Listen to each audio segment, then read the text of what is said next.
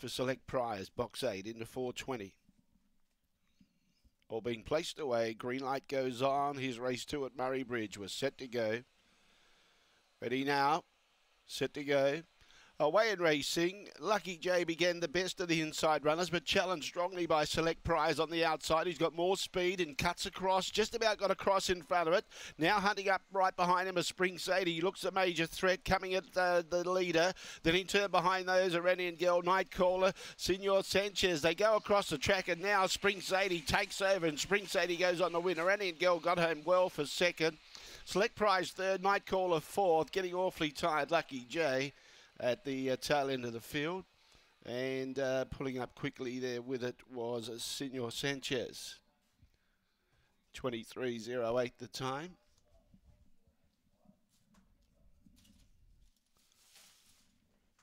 Twenty-three zero eight one four eight. The judges' numbers.